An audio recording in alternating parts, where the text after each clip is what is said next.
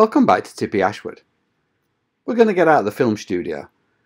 I've realised that I've got a lot of new subscribers, and to tell you the truth, I haven't really done a lot of model making that you can see in the last little while. So I'm going to take you around the origins of Tippy Ashwood through a series of stills and some bits of movies that I took as I've gone along in the building process. Some of things that you might have seen on other videos, but there's quite a lot that you haven't. So stay tuned, and don't forget, subscribe to Tippy Ashwood if you want to see more. It really all starts here, my friend's Crow's Nest Tramway.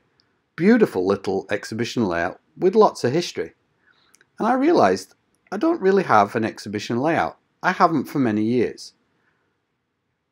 The basement one is a little bit too large, and I was looking at the narrow gauge, something I've never done before, and I thought a little narrow gauge, small layout might be ideal for some of my small local exhibitions. So on my search around for narrow gauge engines, I thought I'd go a little larger scale than I've worked in before. I found Smallbrook Studios. They make a lovely little set of resin cast narrow gauge locomotives. But I did like that Emett style train they had in the background, so I thought maybe I should buy one of those at the same time. Well, of course, there's no point in having a loco if there's nothing to pull, so that was very quickly followed up with some rolling stock, mainly the chassis and my own interpretation of bodies. And then, of course, you need some guys and some mates to help you build the thing. So here we are. Myself, on the right, Bob Downes, Admiral Dickie Bird, and Bernie Woods. So the initial idea was a four foot board, maybe two foot wide, just to run backwards and forwards on, which is a nice idea. But I soon found that I was uh, stretching my legs a little bit on my larger layout.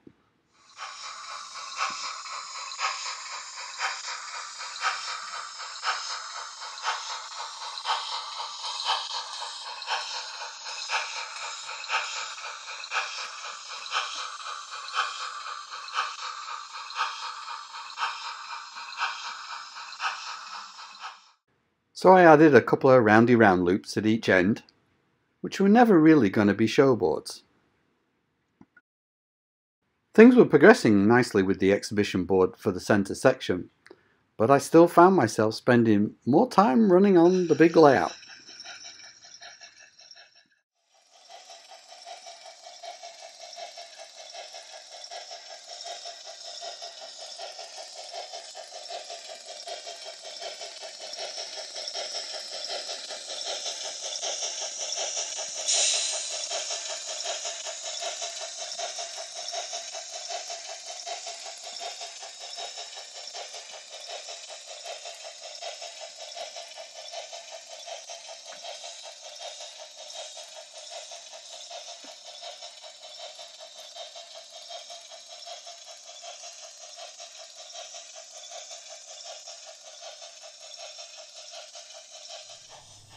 Yeah, things are pretty sedate on a small board.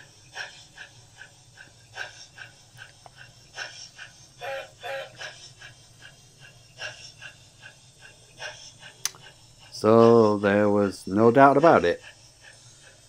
I had to build those roundy round loops.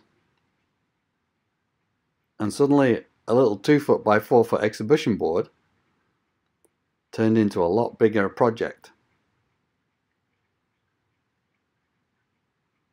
You need a lot of room to run G-Scale. This GN15 stuff is big, even for a small little layout.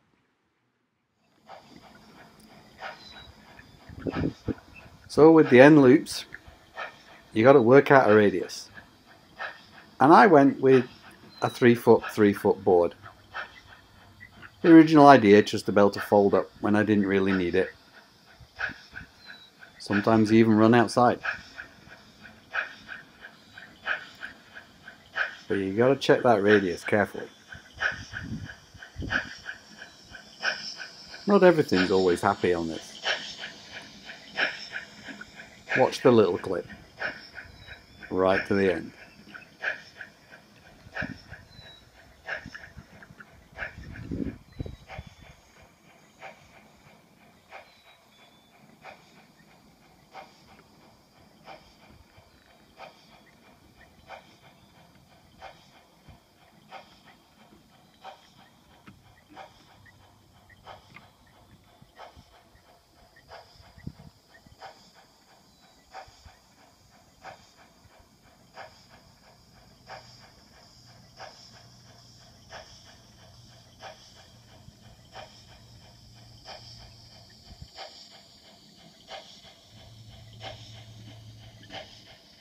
So with a few problems solved and better track laying, you start thinking, well, you could add some scenery to that board.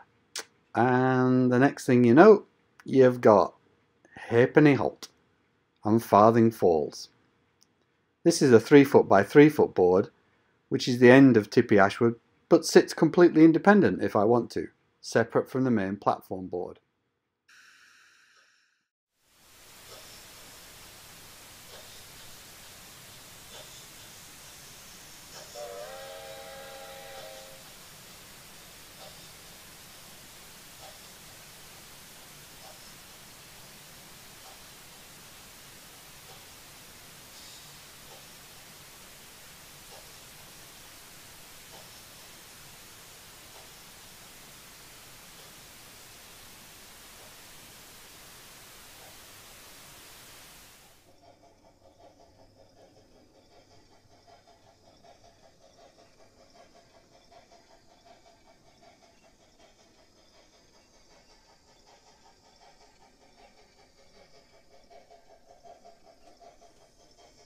So while it was quite easy to disguise the joint between Tippy Ashwood and Halfpenny Halt on what I call the west side of Tippy Ashwood,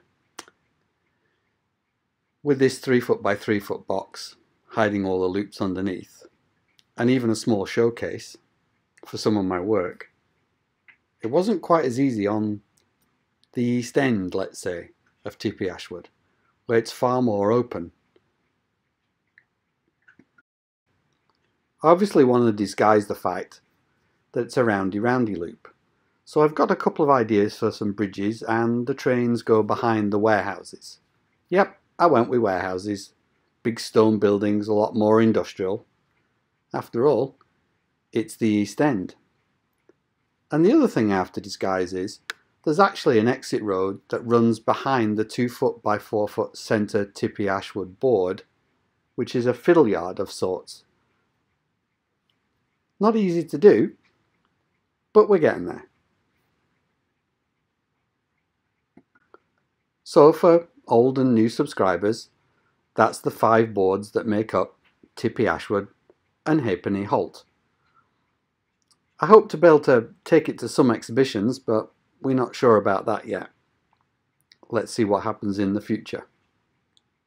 This has been a great fun project and really pushed some of my model making skills and I hope you're enjoying these videos and my little learning curve towards working at this slightly peculiar scale. Well, if you like me and you like the journey of Tippy Ashwood, get your luggage packed.